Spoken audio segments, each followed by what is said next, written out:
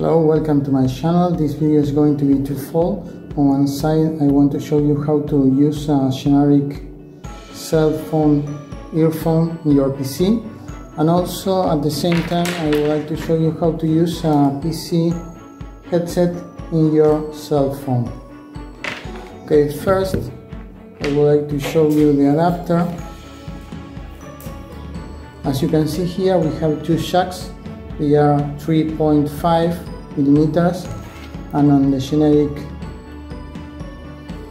earphone you have one jack but also 3 3.5 millimeters. So what's the difference? The difference is that this one have one ring inside and this one has two rings inside. That means that this can handle input and output and this can handle only input and output one way only so what's the solution? The solution is the same for both, cases. You need an adapter like this. It's super cheap. It's called splitter or joiner depending on the point of view. And for example, I'm going to use the this adapter with the PC headset